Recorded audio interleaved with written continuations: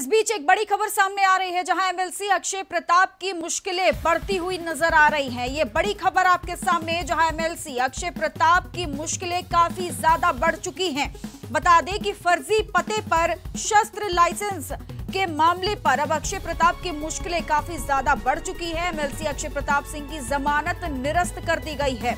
साथ ही एमएलसी अक्षय प्रताप को गैर जमानती वारंट भी जारी कर दिया गया है।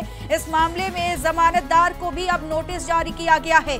जिला जज ने एडीजी के आदेश को भी खारिज किया है। ये बड़ी खबर आपके सामने, एमएलसी अक्षय प्रताप सिंह से जुड़ी बड़ी खबर आपके सामने है, जहाँ फर्जी पते पर शस्त्र लाइसेंस को लेकर के अब अक्षय प्रताप की मुश्किलें काफ़ी ज़्यादा बढ़ती हुई नज़र आ रही हैं।